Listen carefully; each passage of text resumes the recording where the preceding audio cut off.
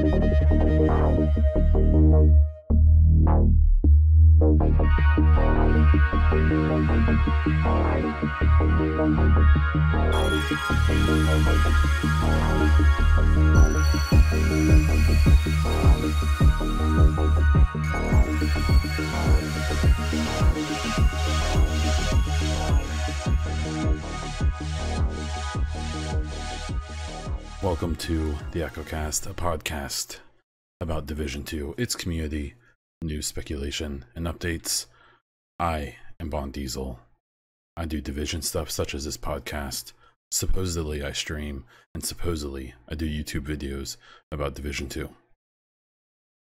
Today we're going to have some content updates, state of the game recap, Division 2 new- news and stuff, other gaming news, listener questions, and then we're going to wrap it up. I want to thank this month's Patreon supporters Benny Hassan, Christian, Darren, Justin, Tim, PK, DJ, Jimmy, Tony, and Dale. If you'd like to support this podcast or my other content, please check out patreon.com slash the echocast. I want to throw out a sincere thank you to really everyone, but especially the Patreon supporters. Um, after I've not streamed in like two weeks and didn't do the podcast, I missed my first week ever in the podcast last week. Um, I kind of expected to look at the Patreons and see people had dropped off, and I would have been 1000% okay with it. I understand. Um, and it really um, made me smile to see that everyone was still chilling. So, thank you guys and gals very much. I sincerely appreciate it. Uh, we'll start off with some content updates. As I just said, there was no episode last week.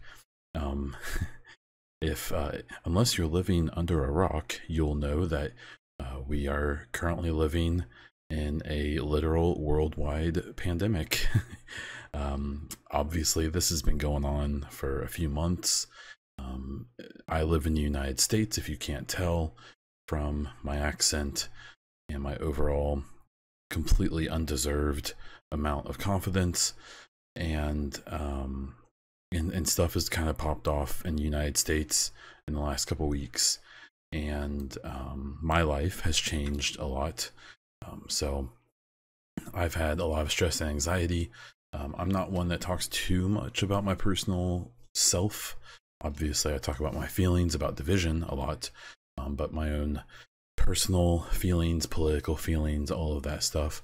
I mostly try to keep off of my content, even though that's getting harder and harder to do. But um, basically, I was just really, really stressed and anxious last week.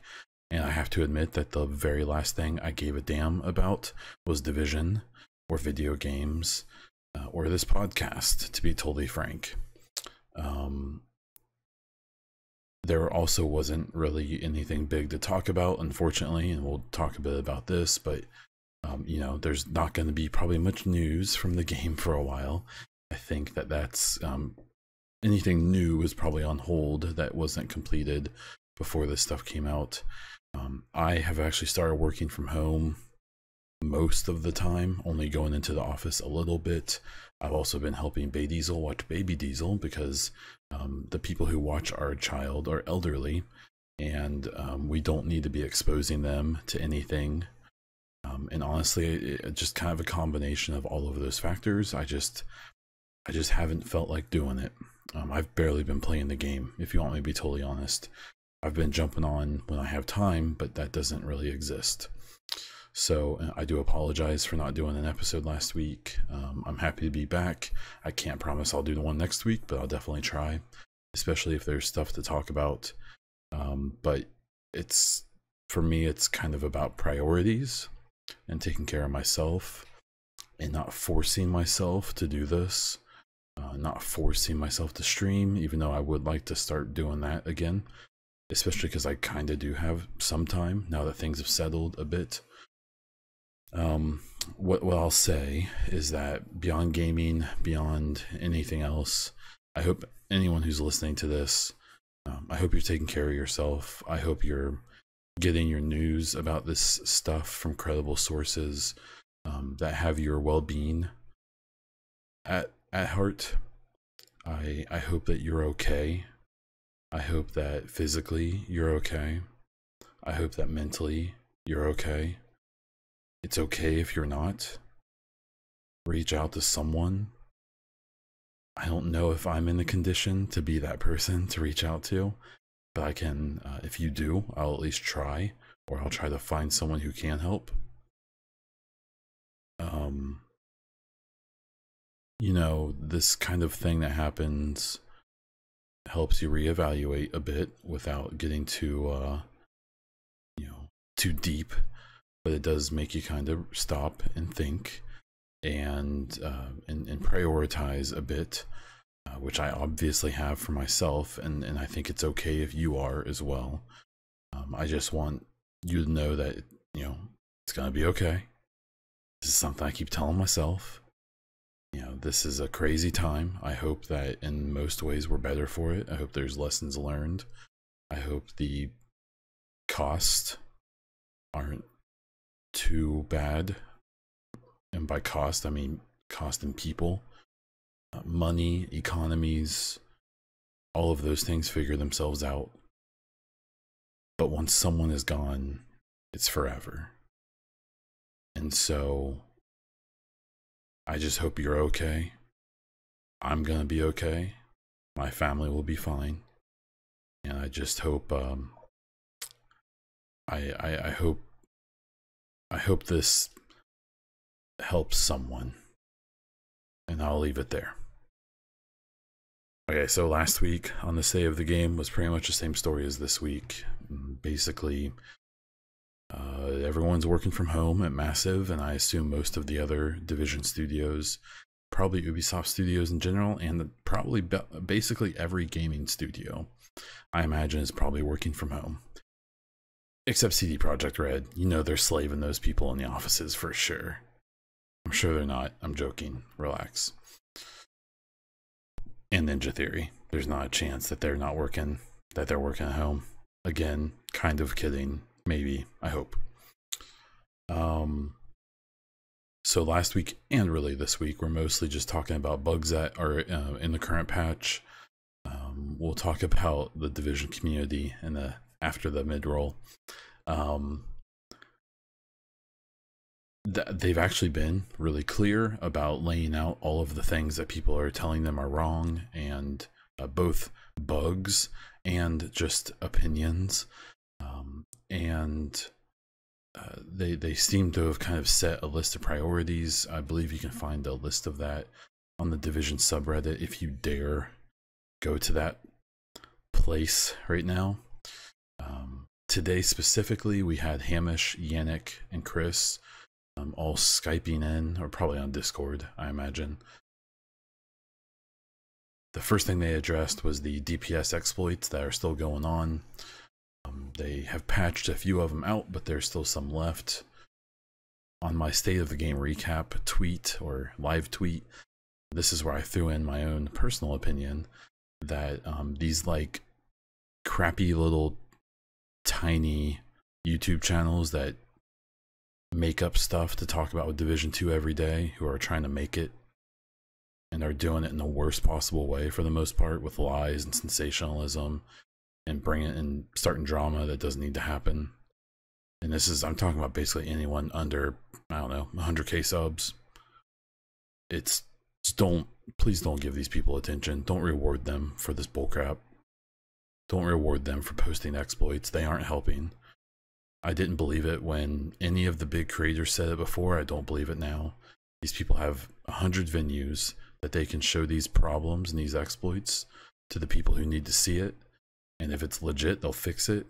And posting a video about it isn't the right way to do it.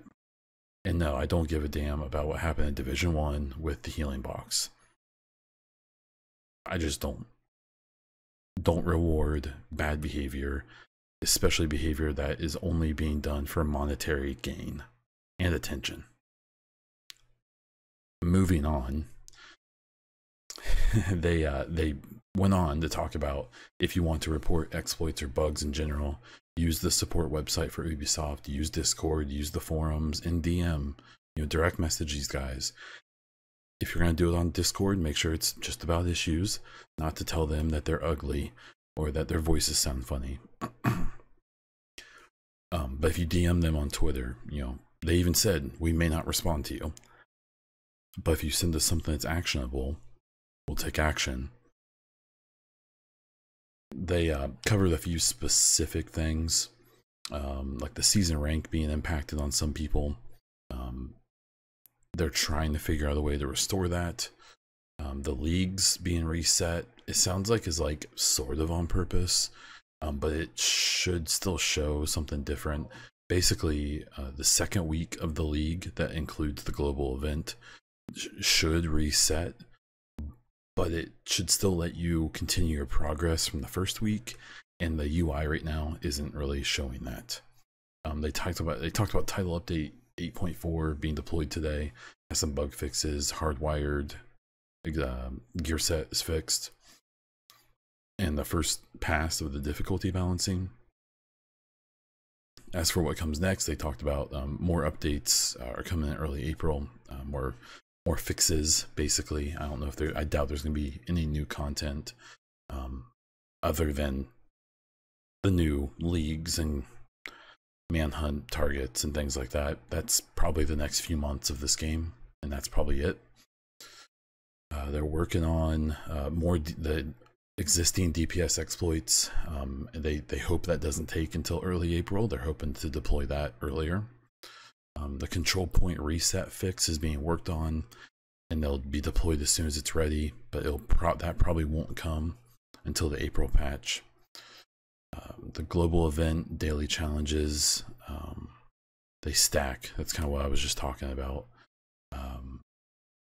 So when you see the day one, two, three, and four of global event challenges for the dailies, those don't go away after their days. They stay really it's just not a very well designed UI. My guess is they actually did originally intend those to go away after the, the day, but then they probably realized that that would piss a lot of people off. so they probably need to fix the UI. Um, and they acknowledge just in general that the UI is kind of confusing. Uh, and it hopefully will be adjusted. Um, there's an apparel event coming on the 31st. They showed off the Recon, Hazard, Chrome, and Gorilla uniforms that or cosmetic items that you can get. Uh, the Recon has a hood. It's got like the ghillie sniper hood. That's um, I think it's similar to the outfit hood, but it looks like you can use it as like a regular item with other stuff. They also show the new mask that you can get. It's a uh, it's a green like baseball cap with duct tape on the front, um, and a pretty beastly looking uh, gas mask. Uh, it looks good. I'm sure I probably won't use it. uh, and that was about it. So, uh, with the big stuff, I mean, I don't know. I'll rant about the community after the drop or after the mid roll. Uh, but people just need to realize that, uh, you know, this game will never be perfect. It has never been perfect. no matter what the hindsight goggles people uh, you know what they see in Division One. It was never perfect. Uh, you know, title update seven was not better than title update eight. Um, I've been seeing everything I should have expected, but somehow um, I, I always think that each new patch, maybe the community will react differently, and each new patch I'm proven wrong, and that's fine. Um, I mean, this stuff, it's just kind of what I think is expected. Um, we have the issues we have they'll fix them as they can. Uh, but that's going to be slow going. They're all working from home. They don't probably have the ability to do everything, especially not as quickly that they could if they were in the office. And there's a good chance this is going to last for another two or three months. So, you know, be a person, realize they're people, and that this is tough on them as well. Um, realize that these issues don't make them happy. There's no one sitting at Massive saying, screw the players. We're so happy these problems exist. It's not a thing, and people need to stop acting like they're incompetent, like they are doing this maliciously. Um, I don't know.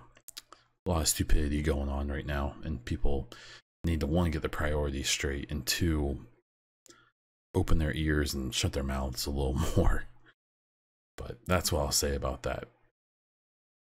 What else I'll say is this 30 second mid roll with a terrible transition.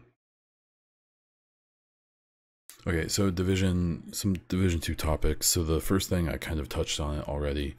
Um, there's some like kind of small name, you know, big for division, I guess, because there's no one left. um, uh, creators who are trying to boost their views um, by making exploit videos. Um, yeah, there there'll be the people, and there and there are people who like them and enjoy it, the drama and and cheating will say, no, it's to get attention from the devs. People do it, they fix it faster. It's not true. Uh, and these people aren't doing it for good reasons. They're they're doing it because it can get views. It does make me super happy that um, that a lot of them aren't getting views. Um, people that get like two or three hundred views in their videos are getting like a thousand. Big whoop!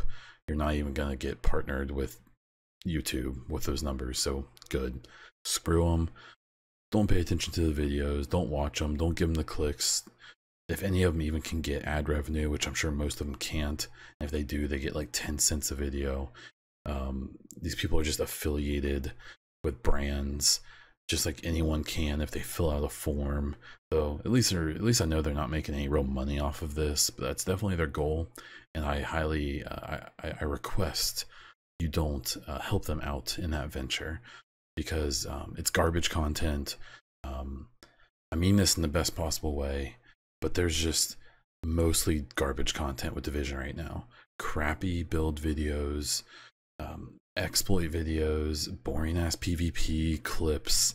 Uh, the PvP is a complete shit show right now because of the DPS glitch. You know, it's just it's a mess. uh, the, one of the greatest things that, that I will always feel bad about with Division is that um, it never has had any big time consistent creators that weren't the worst enemy of the game and the community. I know people liked Marco. I know people like Widdz. For some reason, people like some other creators. I will leave nameless. Uh, that I'm sure you can guess because they're just children. And then there's a few big creators who every two or three months when there's updates, they pop in and pretend to be part of the community and then get mad when they don't get paid to play the game or whatever. Just garbage content, unfortunately. You know, and even the people who did make decent content for the game ended up being the worst enemy, anyways. And um, it's just kind of a bummer. That's going to be one of the big things that, in the long run, I think held this game back was uh, you know, I, I, look at games like like Destiny, who I know can have a salty community, but it still does have a bunch of creators who are high quality and make good content that aren't just PvP based and aren't just based on making sarcastic videos, making fun of everyone because they've got self esteem issues, and you know, you know these other games that I've been involved with, especially like Escape from Tarkov, and I've paid attention to Destiny a little bit they have these like pillars of their community. People who may get a little salty here and there and stuff like that but at the end of the day you know they all of those a lot of these other games have five to ten pillars to their community of people who are informative who are balanced who give actual real information and don't you know become part of the problem. Um they're critical of the game but not in a way that they're just trying to get attention for it it's uh, it's something I'm very jealous of as a division fan. Um, I'm not gonna ever be that creator that I wish we had. I think the closest we've ever come to it was Skill Up, and he basically stopped being involved with division years ago. And uh, and even then, he had his own issues. So um, I I feel bad for this community. It's a bummer. Um, and now what we have is a bunch of crappy videos like I talked about before, a bunch of crappy content that's coming out, um, a bunch of these like mid-tier small creators starting drama with each other and bickering and saying stupid crap. And at the end of the day you know they think that they're all these like sharks going after each other but it's just a bunch of minnows nipping at each other's tails. It, it doesn't it, it's it's insignificant. It doesn't matter. And it's so so much of a bummer to see. Um, and these people in their communities are the same ones who are flooding Reddit with a bunch of bullcrap and negative posts and you know awful things being said about people who are just trying to do their job. Um, you know, I've I've always been one to say that criticism is so important for games and communication is so important. Um, but if you look at any, you know, Twitter, I mean, I've blocked or been blocked by most of the assholes in this community, so I guess I don't see much of it. But the subreddit is just such a mess right now, and and the people over there who mod that do what they can. Um, but there's basically, you know, just it's rough. um, I'm not even saying that. I mean, most of the criticism is deserved for sure. Um, but the way it's done and really just the kind of sheepishness of a lot of the feedback where you can tell it's people who don't really know what they're talking about but some you know youtube bro said it and now they're parroting it or you know they're mad the game isn't perfect for them specifically therefore the game's terrible and and here's a 15 paragraph post to why um, it's really just a bunch of people circle jerking around an anger fire and uh, getting getting off on it real hard. Uh, I'll make sure I list this episode as uh as explicit. Um, but it's just it's so frustrating to see, especially with all of these other real things happening in the world right now. Um, it's just cringy to even pay attention to this community. I, I made a post a few days ago. I took a few days off and came back and basically just said like, man, this um th- this community is just kind of a shit show or at least the side of it that gets seen the the the, the vocal and probably vocal minority is um it's hard to watch. It's it's hard to even try to be a part of. It's just such a shit show. Um